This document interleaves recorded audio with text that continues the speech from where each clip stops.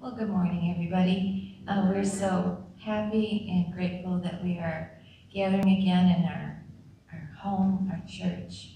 Um, and I see so many smiling faces here. It makes me so happy inside.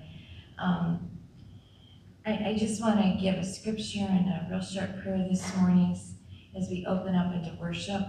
I um, was just thinking this morning how many different groups are unified. And when they have a purpose, they become really tight and driven.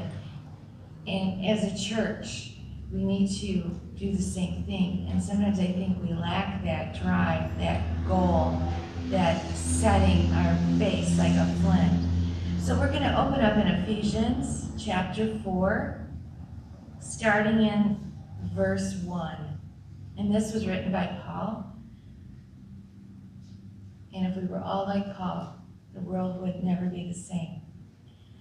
I, therefore, the prisoner of the Lord, beseech you to walk worthy of the calling with which you were called, with all lowliness and gentleness, with long suffering, bearing with one another in love, endearing to keep the unity of the Spirit in the bond of peace. Wow. If we could only do that, right? Treat each other with lowliness and gentleness and long suffering, bearing with one another in love, and enjoying to keep the unity of the Spirit in the bond of peace. There is one body and one Spirit, just as you were called in one hope of your calling, one Lord, one faith, one baptism, one God, and Father of you, who is above all, and through all, in you all. But to each one of us, grace was given according to the measure of Christ's gift. So, Lord, this morning I pray that we would be one in you. We would be one in the Father. We would be one um, in, in um, the Holy Spirit. We would allow the Holy Spirit to move abundantly through us and with Yes, us. Lord. Lord, that we would be tied together, unable to break away. Lord, be with us today. Do it, Lord. Be with us today in this congregation, whether they're in, we're in person or we're virtual. Lord, be with us today, and may your Holy Spirit move in worship Yes. and in the community message and in the Word. Dear God, move Yes. abundantly. Yes. May we feel your Holy Spirit Glory. in Jesus' name. Glory. Amen. Yes, Next Hallelujah. Thank you, Jesus. Good morning, everybody. Morning. Morning, good morning. I thank God. Thank God to be able to look out and see, uh, uh, Lord, harvest as a not just one or two people, just as a whole. It- it's, it's a blessing. It's wonderful. And you know God is good when you can look out and see so many healthy, strong, spirit people just worshiping Him. And I, I, I, I, man, I thank, I thank, I thank God just to be a part of it. Um, you know, this is, you know, just for for those out um, that's at home, those that can't make it. God is is is still moving in your home. But those of you that can, come. He said, forsake not your, forsake not yourselves from partaking with one another, enjoying with one another, sharing with one another. See, he gave his life so that we can share with others. We shared in his death, but he died and we benefit from it. Amen. Come on now. Come on. His his blood and his body, man, I couldn't have done it. I thank him for that. Amen. And I remember it so vividly sometimes when he comes through for me in a in a clutch, you know how you know it might be a bill need to be paid or a blessing over here, and he comes through, and I'm like, man, God, praise your name. So this morning, let's let's go over to First Corinthians 11. Let's just see, you know what what brother Paul has to say. You know, we we thank him. We thank him. Let's go. Let's go to verse. It's First Corinthians 11. Let's start in. Uh,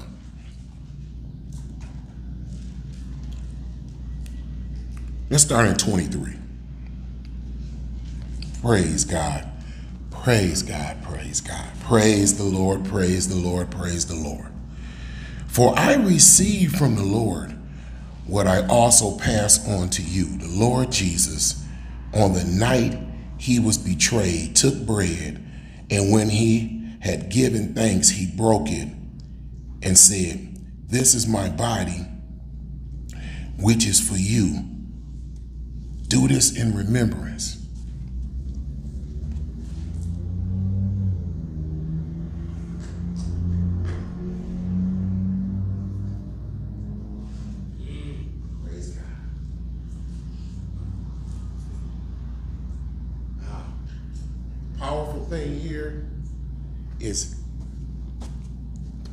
Thing here is he knew he was going to die.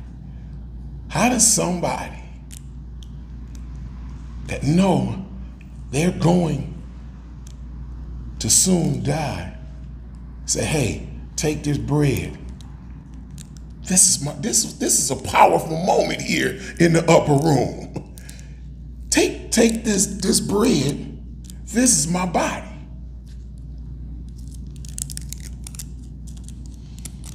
Let's partake. This, thank you, Jesus. Amen. Those of you at home, get a get a piece of bread, get you, get some juice, get get it, and just partake. Thank you, Lord. Thank you. Thank you, Jesus. Thank you, God. Thank you for what you've done. In the same way, after supper, he took the cup, saying, This cup is the new covenant of my blood. Do this whenever you do do this whenever you drink it in remembrance of me. For whenever you eat this bread and drink this cup, you proclaim the Lord's death until he comes. You're proclaiming, you're saying, Yeah, Jesus, thank you. Oh, let us let us drink. Thank you, God. Thank you, Lord. Father. Hmm.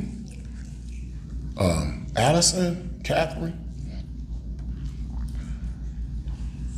The Lord has it, it's are you believing God for something? God said it's coming. He said it's coming. I I wish he would show me what it is. I'm I'm curious now. But he said it's coming. He said it's coming in Jesus' name. Amen. But but anyway, but anyway, God, we thank you for your body and your blood. We thank you that you obeyed the Father. And then the Holy Spirit obeyed you. And now we obey the Holy Spirit.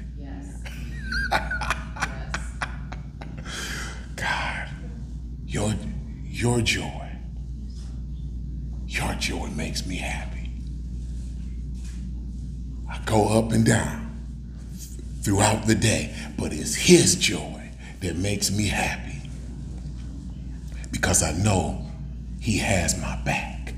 Amen. Father God, we just thank you this morning for this powerful, powerful, uh, sacrificial offering of your body, God, and sharing it with us. that we can be stronger and that we can know that you love us and that you are still there for us, regardless of COVID or whatever it is. You are still there, Lord God, and we praise you. We lift up your name on high, God. We thank you, Jesus, because nobody could have done what you've done. And I thank you. I do. Because, man, from day to day, yeah, I, I have problems, but I always take them to Jesus. And he always give me some kind of answer. Amen. If he say, if he, he might say, Bird, that was your fault over there. Because I'm still, I'm still human. I'm still in this flesh. But I try, I try every day by the grace of God Yep. to move in the spirit as much as I can. That's it. That's it. As much as I can. Because I know that God has provided a way for me to get it done. And that's to just keep going. Amen. We thank you, God. We praise you, God. In Jesus' name, amen. All right. What I want to do today is just summarize our last 14 months and what the Lord has spoken to us. For a year, we were in the Psalms, and the Lord showed us a five-fold pattern based on the five different books of the Psalms on how He establishes His purposes in the earth. And then we've spent several months in Isaiah. And in Isaiah, the servant of the Lord is manifested Isaiah 40 through 55. And four times the servant and the servant's purpose is addressed in Isaiah 40 through 55. That's a fourfold pattern of what the ministry of the servant of the Lord and God's servants, whom we are, the third thing we looked at was Colossians 1, and there's a fourfold pattern there on how leadership in the church, apostolic leadership in the church, imparts grace to the church to be discipled and to enter into the purposes of the Lord. I, I, I want to summarize that so we can all get on the same page, both those of us who are here and those of us who are online. The Lord has spoken to me since we've been meeting live again for these past several weeks. the Lord has spoken to me that we have arrived. What the Lord has promised is being fulfilled. And we just need to open our eyes to see it. The Lord's going to dig out our ears, He's going to open our eyes it's not, Lord, what are you going to do so that we know you're, you're fulfilling these things? He started several weeks ago. The Spirit's been poured out here every Sunday, and it's going to continue to be poured out. He's doing it now. And that really echoes several times um, in my walk in the Lord and my relationship with my beloved brother Steve Fado that Steve has prophesied the same thing to me a number of years ago when, for me, the, the failure of Lord of the Harvest was being heightened and underscored, and I, I actually believed we weren't going to survive what we were going through a number of years ago. Steve took me aside and said, Oz, it's in times like these that the Lord proves his faithfulness to you and the promises he's made to you and the covenant he's made to you. And I remember that word from Steve changed me significantly in terms of how I saw what God was doing, how God did does things and and and how God establishes his purposes. And then recently, Steve called me out as I was ministering And uh, he uh, said, I had a vision, Oz. The Lord is faithful. You, Lord of the harvest, you have not compromised. You've been faithful to the promises of the Lord. And he said, and the Lord is going to fulfill all his promises to you, brother. That's that's just what the Lord spoke.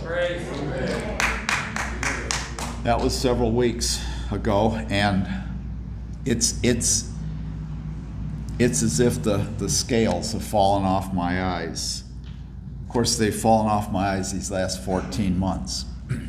There will be churches who said, we stood firm for the Lord. We, we never stopped meeting. We, we don't believe in masks. You know, we don't believe in lockdowns and stuff like that. We stood firm in the Lord, and God's fulfilled his promises to us. And I would say to that, Amen. And then there'll be a church like Lord of the Harvest said, we closed down, we wore masks, we, we, we, we uh, social distance, we were as careful as you can be. We didn't even meet together, and the Lord fulfilled everything Amen. He promised to us. Amen. We have to, as the body of Christ, come out of this sectarian, one size fits all. Right. One size does not fit all. And we have to quit judging each other because your experience is not affirming my experience. My brothers and sisters in Christ do not need to affirm my experience. The Father, the Son, and the Spirit. That's, that's all we need to affirm our experience. And may those who obey the Lord, whatever the Lord has showed them to do, be blessed right now. May they be blessed. See, we, we, we can't see church. We can't do church through a sectarian perspective. A sectarian perspective is my way is the way. Well, that's not what I meant to talk on today, but figure if it if it works, it works. Hallelujah. So let's look first at the Psalms. We spent a year in the Psalms. I didn't want to get out of the Psalms. I didn't want to depart. I mean, I was afraid to say, let's go to another scripture and look at them. We, we spent an entire year. Wasn't that amazing? One psalm a day for 366 days and just seeing Psalm 1 through 150 is a plan. Those, those psalms are not just thrown together arbitrarily. Psalm 1 was put where it was put, Psalm 42 was put where it was put, Psalm 89 was put where it was put. Psalm 106 and 107 were put exactly where they should be, and Psalm 150 was put exactly where it should be. And there was a plan. And by spending a year, we saw the fivefold pattern. There are five books in, in Psalms the Genesis book, the Exodus book, the Numbers book, oh, the Levitical, the Leviticus book, the Numbers book, and then the book of Deuteronomy. But that, that fivefold scheme also goes through the history of Israel. The Genesis book, Psalms 1 through 41, speak of that the Lord established David's kingship. It was a miracle. The Lord set one presidential candidate down and raised up another presidential candidate. Saul goes down, David goes up. That's the first five books, and it says that when God has a purpose with a man, with a people, with a church, God will establish it against all odds. Amen. That's good. Principle number one in the Psalms. Principle number two, the, the Exodus book runs from Psalm 42 through Psalm 72. Not only does God establish a king, but then he sustains that kingship. Every attack against David, human, demonic, national, theological, spiritual, every attack against David, the Lord repels and sustains his kingship. He doesn't just establish his kingship, he sustains his kingship because what was key about David's kingship, it, it's to sustain a kingship. The Lord made a promise to David and said, From your seed I will raise up an anointed one who will establish my kingdom purposes forever. Now we know that's Jesus. We know we, we know way, way, way beyond David, a thousand years after David lived and died, that it would be Jesus. But in order, in order for the kingship to be sustained, Solomon had to be the one who received the kingship. And David went through a number of sons who actually had the, the inheritance before Solomon, but in the end, the Lord establishes Solomon. So God establishes his purpose, he sustains his purpose, but then an interesting thing happens. The third book, Psalm 73 through Psalm 89, is that Israel becomes divided after Solomon.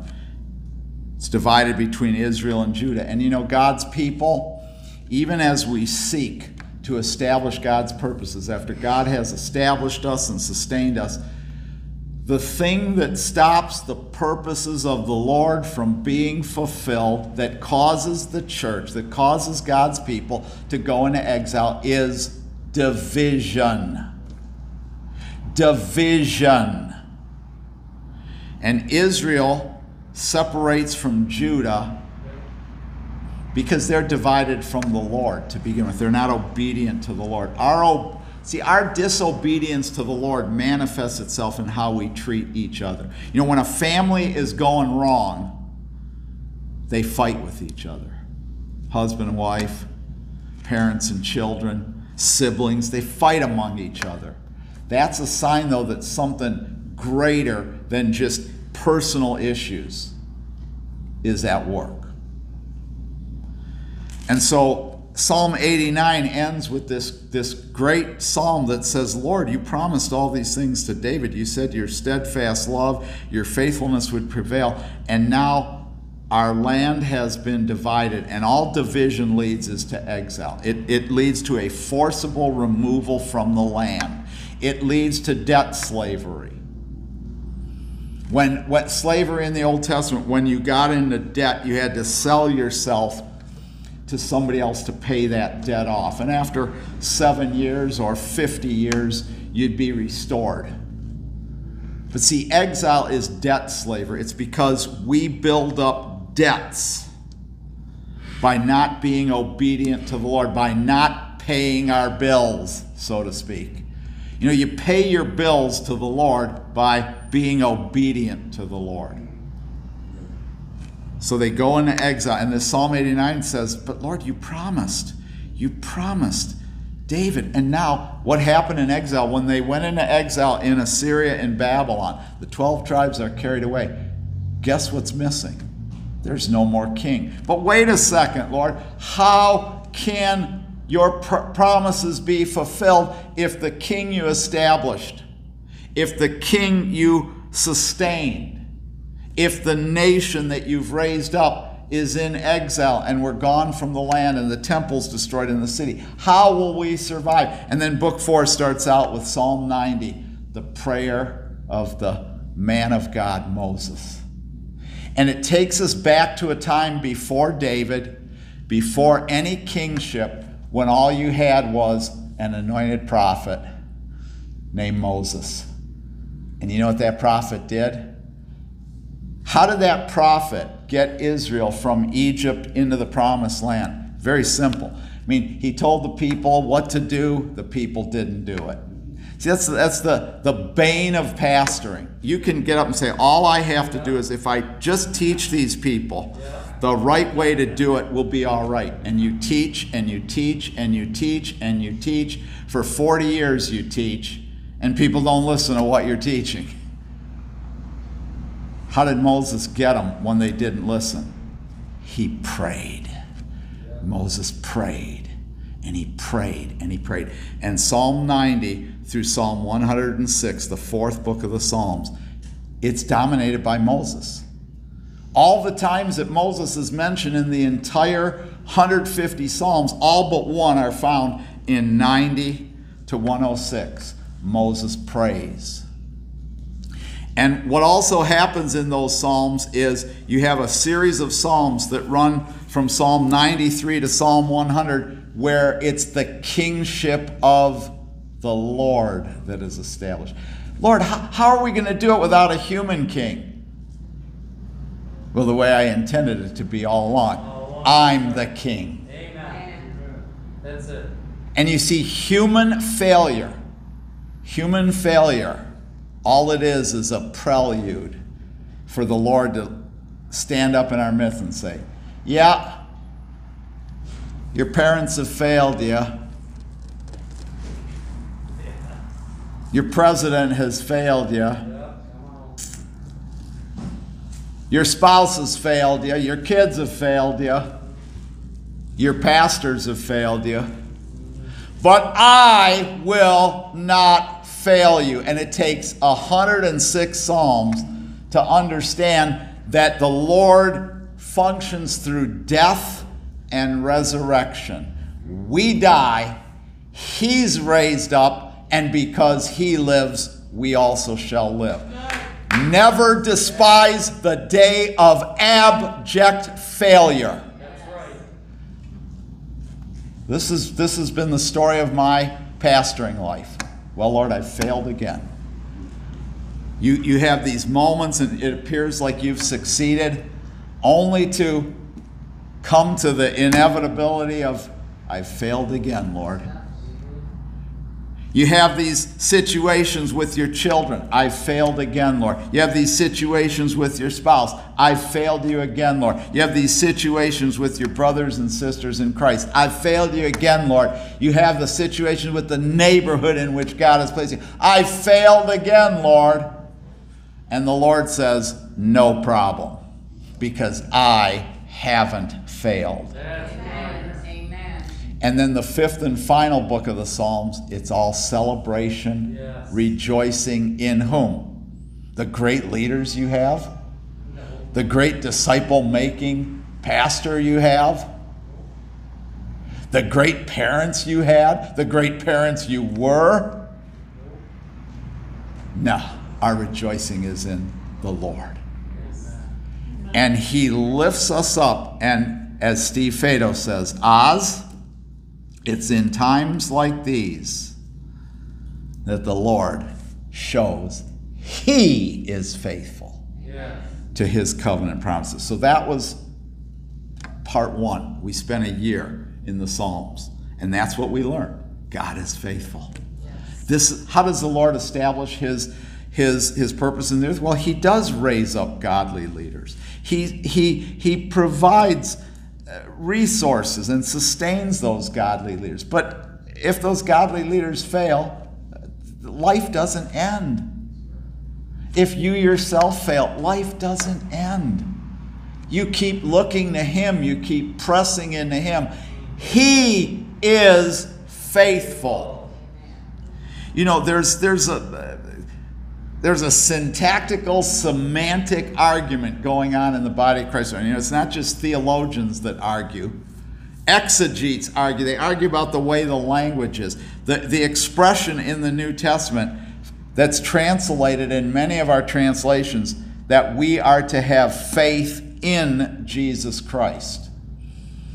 Do you know that phrase can also be translated that we are to have the faith of Jesus Christ? Not faith in Jesus, the faith of. And that what the phrase can actually mean, the faith of Jesus Christ, could actually be translated the faithfulness of Jesus Christ. What are we saved? Are we saved by our faith in Jesus or are we saved by the faithfulness of Jesus Christ? And by the way, that's a profound difference there, brother. And which one of those you believe is true is going to change the way you live. It's going to change the way you see reality. See, and that's why in the Psalms we saw it over and over and over again the steadfast love and the faithfulness of the Lord. Yes. And see, the steadfast love and the faithfulness of the Lord is the grace and truth that are found in Jesus Christ. So the second place we went was the servant of the Lord in Isaiah. In Isaiah 42, in Isaiah 49, in Isaiah 50, and Isaiah 53, you have the fourfold mission of the servant of the Lord. God's people are in exile, but the Lord's going to bring them back, and He's going to establish His purposes, and He's going to establish it through the servant. See, Isaiah 40 through 55 follows the same pattern as 150 Psalms do. It's the faithfulness of the servant. So in Isaiah 42, the servant, first of all, seeks to bring justice. Isaiah 42, 1 through 4. Three times the word justice is stated. The first way that the Lord establishes his purposes through Jesus will be justice. The Lord will bring justice. And as I said, you know, if, if you say the Lord will bring faith, or the Lord will bring love, or the Lord will bring righteousness, or the Lord will bring power, you don't even you don't have to define the word. Everybody has an image of what love is and faith is and power and righteousness. But again, I'm telling you, the church doesn't know what justice is. It's, for some reason, the church has gotten away from paying attention to justice. Well, one of the reasons the church has gotten away from paying attention to justice and talking about justice and teaching justice is the church hasn't walked in justice for centuries. And I'm talking about way before 1619. I'm talking about way before 1514. I'm talking about way before 980 AD, way before the mid 7th century AD. I'm talking about way before. The church got away from justice. The church got away from justice because it embraced political power as a means to establish God's kingdom instead of God's way. So, the first aspect that the servant brings is justice. And if God is going to move in this hour in the church, I'm not going to define justice for I, I define it every time I share, but but if the church is going to get in step with what the Lord is doing in this hour, the Lord is trying to take the scales off the eyes of his church and embrace justice once again. You cannot embrace justice because justice, the main thing about justice is justice is for everyone else. It's not for me. See, see if I live a life driven for, for me and mine, if I live a life that's driven by, I want my tribe, I want my tradition, I want my people to experience the blessings of the Lord, you, you already have placed yourself in a position against even understanding what justice is.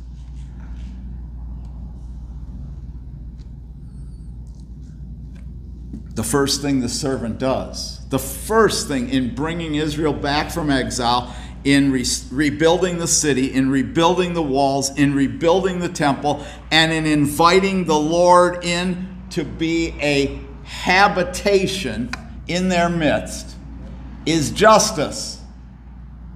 Isaiah 49. The mission of the Lord must be established. That's the second servant song.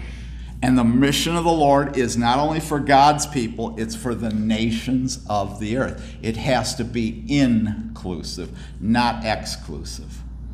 And that mission will be characterized by the opposition of warfare that that mission brings to the servant.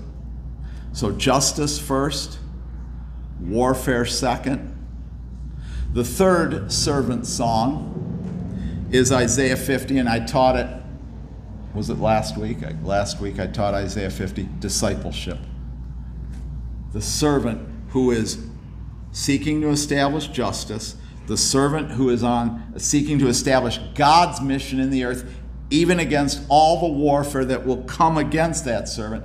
The third thing the servant does is he raises up disciples to help carry out his task. And then the fourth we know in Isaiah 53 it's suffering. The servant bears the sins, bears the infirmities, bears the weaknesses, bears the sickness of God's people upon himself to make the unrighteous righteous and to release healing. There's a fourfold pattern how the Lord establishes his purposes in the earth. And be certain that none of that could happen without Jesus. But also be certain that if we are now his servants, and Paul, remember, Paul called himself the minister of the Lord, the servant of the Lord in Colossians 1. And we're going to go to Colossians 1 next. Actually, open your Bibles to Colossians 1. And that's our third summary of what we've looked at in this last year.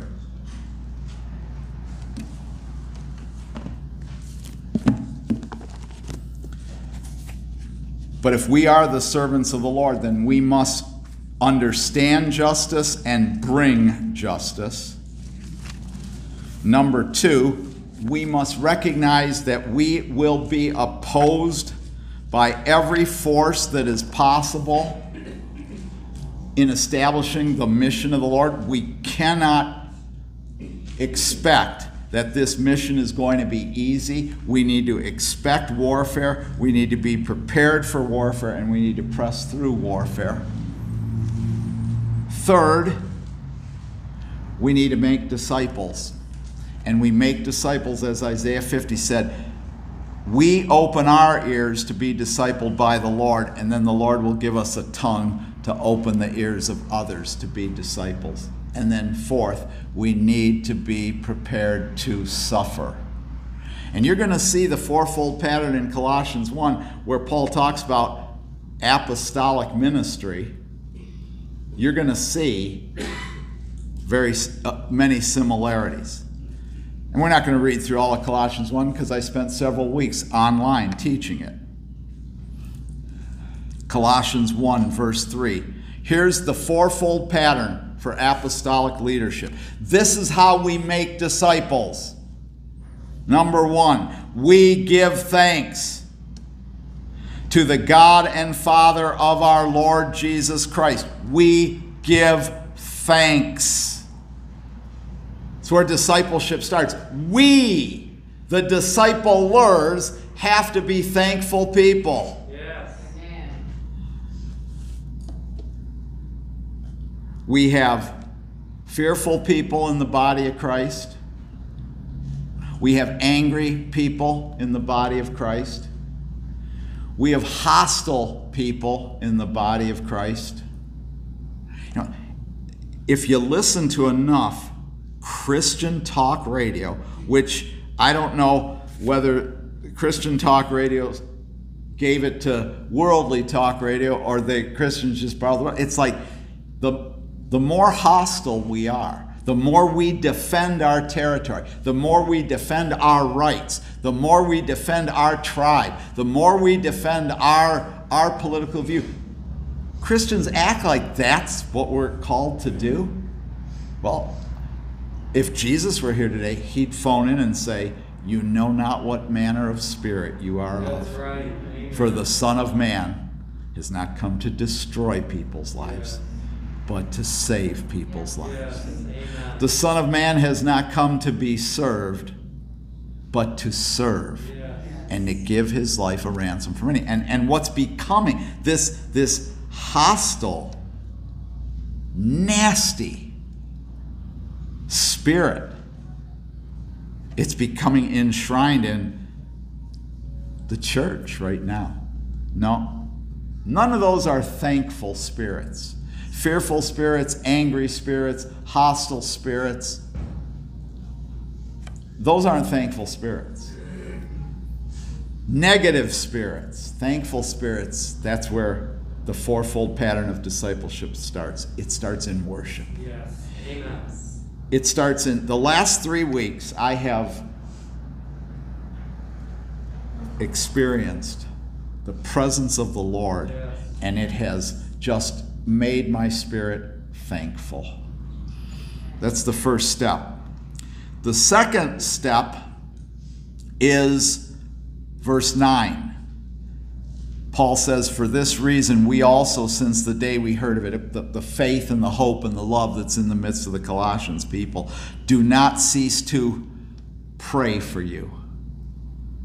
Prayer is the second dimension of apostolic impartation that creates discipleship. And what's he praying for them? Look, he's praying for an impartation, that you be filled with the knowledge of his will in wisdom and spiritual understanding, that you may walk worthy of the Lord, fully pleasing unto him, being fruitful in every good work, increasing in the knowledge of God, that you're strengthened with all might according to his glorious power, for all patience and long suffering with joy. And then notice he says, giving thanks to the Father. Just as I give thanks, I'm praying that you'll have an impartation of thankfulness. And that impartation of thankfulness, that's like the delivery service. The impartation of thankfulness, that's like the supernatural Uber driver bringing you your food, making you thankful in your heart, not making you suspicious, not making you antagonistic, not making you territorial, making you thankful.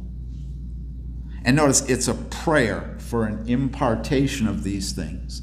See, see, just as Moses prayed in the fourth book of the Psalms to get God's people from Egypt to the promised land, apostolic leadership, we are praying and praying and praying again.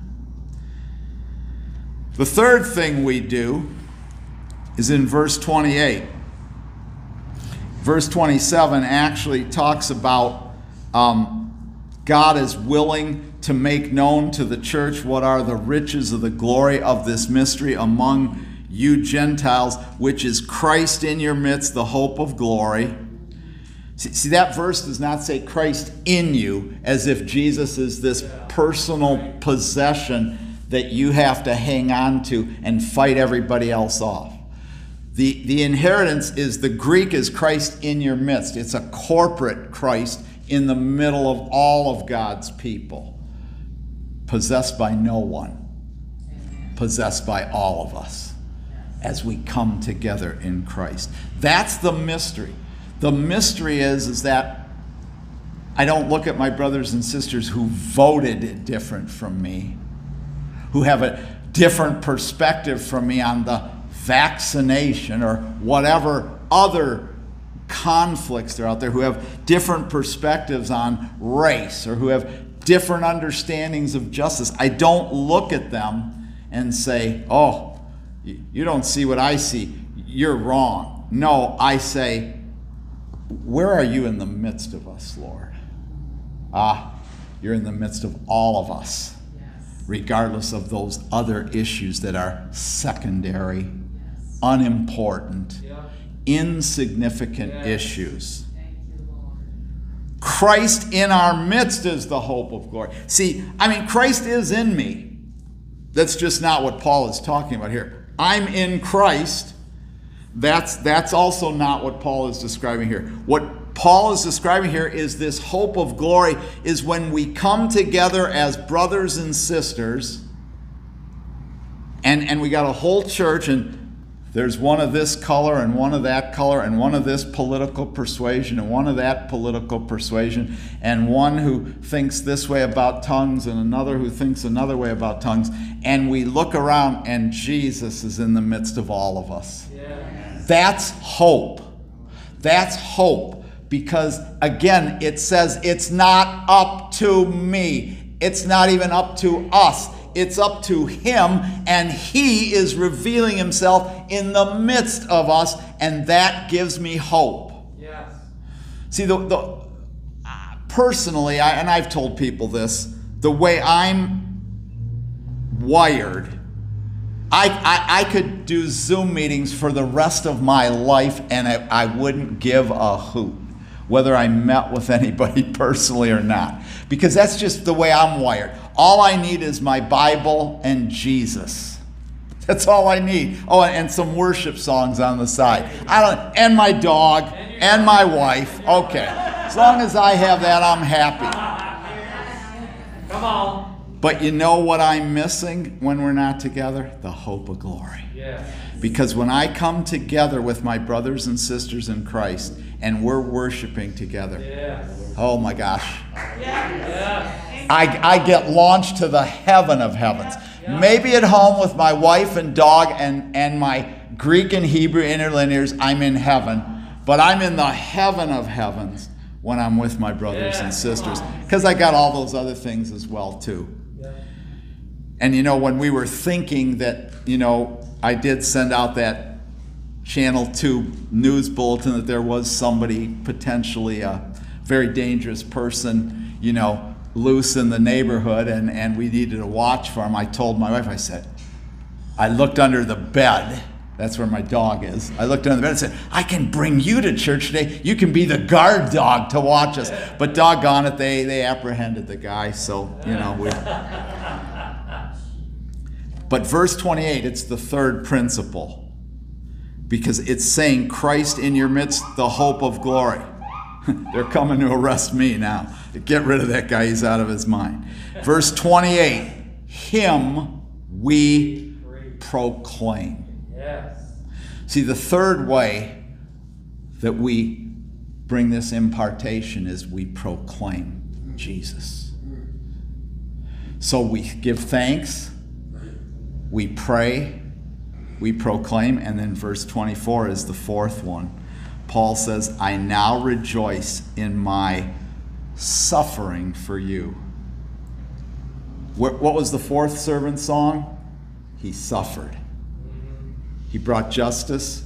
He did spiritual warfare. He made disciples and he suffered for the people of God. Paul says, I now rejoice in my suffering for you. Paul was in jail when he wrote Colossians and he would be executed a few years later. Never got out of that jail. He would be executed. Now, you know, when bad things happen, we always say, Lord, why is this happening to me? Well, here's the answer if you're a leader in the body of Christ Christological suffering. You have to have a Christological perspective of suffering. You have to understand why bad things happen to you and why you suffer. It's for everybody else who is unwilling to suffer. He says, I fill up in my flesh what is lacking in the afflictions of Christ. See, the church, the, the hardest thing to get the body of Christ to do is to suffer. You can get the body of Christ to worship. You can get the body of Christ to study the Bible. You can get the body of Christ to tithe. You can get the body of Christ to pray. You can get the body of Christ to do outreach. But it's very difficult to get the body of Christ to suffer. It, it is. It's very difficult for any of us to suffer. Who, who, who, who in their right mind would want to do that? Well, see, we're not in our right mind when we're following Jesus. Do you understand? You're not in your right mind. You're following Jesus. Jesus, they, they said he was insane. That's right. His own family said, You're nuts. Exactly. And why did they accuse him of being nuts? Because he was just doing what he saw the Father do. Yeah. If people don't think you're crazy, you might not be listening to Jesus. Because the Father said, Oh, son, here's the icing on the cake. Justice, son. Warfare. Establish the mission. Make disciples. Heal the sick. Raise the dead. And see, the church is calling. We want signs and wonders. We want to heal the sick and raise the dead. The ultimate sign and wonder, Isaiah 8 said, I and the children you've given me, the disciples you've given me, we are for signs and wonders in Israel. See, a church following Jesus apostolically, that's the ultimate sign and wonder. And the biggest hindrance, church, to what God wants you is not faith. Oh, I lack faith. If only I had a little more faith. No, not the biggest hindrance. Oh, if only I had a, a little bit more revelation. Give me revelation. No, not revelation. You don't need more revelation. The biggest hindrance is the church is unwilling to suffer. That's the biggest hindrance. Because who in their right mind is willing to suffer? So, in order for impartation for discipleship. Those who are really disciples have to suffer. That's what I remember in Isaiah 50.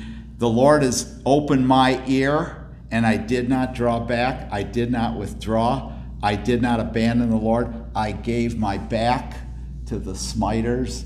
I gave my beard to those who pluck out the hairs. And in Isaiah 50, it's this incredible. Read it if you weren't here last week or you didn't listen to the message. Read Isaiah 50, verses 4 through 10. That's talking about Jesus. It's one of the clearest prophecies of the specific specificities of how he was going to suffer. He was going to be beaten. They were going to pull out the, the, the hairs in his beard. They were going to crown him with a thorn. They, thorns. They, they were going to mercilessly beat him. And he said, And the Lord has opened my ear, and I did not turn back. I offered my back to the smiters. And that's how the Lord would give the servant the tongue to make disciples. I've, I have suffered a lot in these last 10 years. The first, it's like the Lord kind of divided up the history of the church. First 10 years was celebration, fun, games, God moving powerfully, God moving mightily. I mean, any, everything we touch turned to gold, that Lord of the harvest. And then the second 10 years, it's been suffering, suffering, suffering. And the Lord said, Well, those first 10 years were good, and then I'll, I'll be bringing that back. But you got to understand the way I sustain it, the way I impart it is what happened to you in the second 10 years. You keep pressing through. How's, how's your back feel, son? How's, how's your beard feel, son? Man, it hurts, Lord. That's okay. You are going to impart by your suffering for my people, you're going to impart to them the grace they need to suffer. Ah, and then we'll have an apostolic church.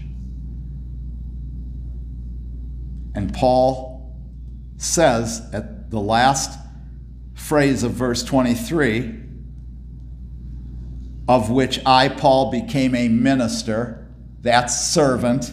And then the first words of verse 25 of which I became a minister, a servant according to the commission which God has given me. See, he's saying, I'm identifying with the servant of the Lord in Isaiah. And how does he end up making God's people whole, making God's people well, making God's people righteous? By suffering. I'm doing it too. Okay, final final example and we'll be we'll be out of here by noon. Hallelujah. It'll be an eschatological event for Pastor Oz.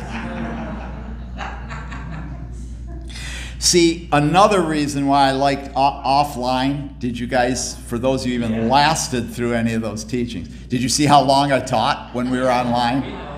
Hour 15 to an hour and a half every Sunday. Man, I, I can do this forever, Lord. Just, just, I'll just sit here and teach for an hour and a half. I, Lord, I could do this like three or four times a week. I, I'll never have to leave here. I got, I'll put all my books around here. Well, when you get back to live preaching, no can do. All right. The final is something that I've only shared a little bit with, and I'm going to pull up my note here. This is the fourth pattern of what God's doing in our midst. God's doing all of this in our midst. He's doing Psalms. He's going to establish his kingship. Yep. He's doing Isaiah, justice, warfare, discipleship, righteousness, and healing. He's going to do it like Colossians thankfulness, intercessory prayer, proclamation, and suffering. He's going to do it, and we're going to get to where we want to go. The last one is, and I, have I've shared this with my leaders, and I think maybe one of the Bible studies that I, I, I did in Kingdom Education class on Wednesday nights.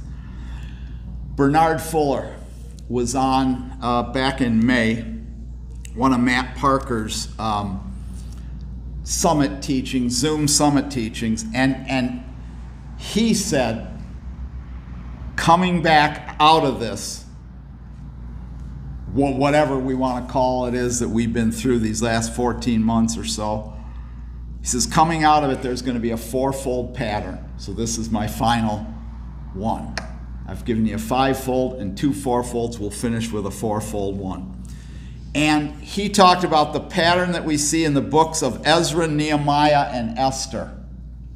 Now, you know, Ezra, Nehemiah, and Esther take place exactly when Isaiah 40 through 55, that prophecy was being fulfilled. That prophecy being fulfilled in Isaiah 40 through 55 was being fulfilled when the children of Israel came back from exile. When the children of Israel come back from exile, you have the book of Ezra, Nehemiah, and Esther. So if you are looking for something to study on your own, that's 23 chapters. Divide them each chapter in half, and, and it'll take you 46 days to read them, or those of you who are speed readers, 23 days. There's a fourfold pattern. Here, this is Bernard Fuller shared this, and I, I, I wrote it down. I wrote it down. It was so powerful because I said, but that's where we're at. That's Isaiah 40 through 55. Everything that's taking place in Ezra, Nehemiah, and Esther was prophesied in Isaiah 40, actually through 66, if you want to add that, that whole second part of Isaiah. Here is the reading pattern for the return to church reality. In Ezra chapter 1 through 6, the rebuilding of the temple takes place. We must rebuild the temple. Rebuilding the temple is the church must once again become a place, to quote Pastor Todd Smith, who we've been listening to lately. Those of you who haven't heard of Todd Smith, look up North Georgia Revival on Google. Todd Smith. He was he was recently down with Steve Fado and Awaken City Church in uh, Knoxville, and there were some pretty powerful miracles that took place there. Todd Smith says the church likes to allow the Holy Spirit to visit, but we don't want to become a habitation where the Lord lives and dwells. So in Ezra 1 through 6, the first step in the return to church reality is the church has to rebuild the temple. The church has to become a place of God's habitation, not a place where God visits. It's got to be a place where God is married to his people, not where God is dating his people. Do, do, you understand? There's a big difference. The second step is Ezra 7 through 10. Besides rebuilding the temple, the church has to reform the people of God. He starts out rebuilding the temple, but then in the second half of Ezra, he reforms the people. God's people must be discipled. Yes. If we want the habitation to be sustained, it's going to be sustained among a reformed people. Third is the book of Nehemiah, which is 13 chapters. Nehemiah knows the temple's rebuilt. He knows the people are being reformed. But remember, Nehemiah weeps. Why does he weep? Because the walls are not restored. Do you know that a city, an, an ancient Near Eastern city, was not constituted as a legal city until the walls were rebuilt? The walls speaks that speaks of divine protection. It's the thing that hedges us in and keeps the rebuilt temple and reformed people safe from the attacks of the enemy. We must rebuild the walls. And we rebuild, that's where we start getting into the Christian disciplines. That's where we get into prayer.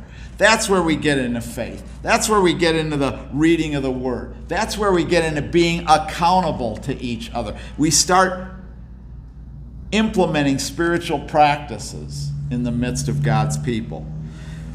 See, the reason God's people don't do what God says is the walls have been destroyed and have never been rebuilt in the body of Christ. And fourth is the book of Esther. That's rescuing the people. The spirit of Haman wants to destroy God's people. When God's people start moving forward, becoming what they're to become and doing what they're to do, the spirit of Haman wants to destroy the people of God. And so God raises up an Esther generation for such a time as this to rescue the people of God. And if you read those three books, you'll find out how we rebuild the temple, how we reform the people, how we restore the walls of Jerusalem, how we rescue the people. I am, I am finished. This is what we are to expect. Now, Teresa, are you up to closing us in prayer? We're going to close in prayer, brethren. God bless you. Love and serve the Lord. Let's see what He's been teaching us and showing us these last 14 months, and let's begin to walk in those ways. Hallelujah, Lord. Thank you so much, Lord God, for this time together. Lord God, we are just so excited to be gathered together again, Lord God. Um, worship, it was so powerful today, Lord, from just the opening scripture, the worship, Lord.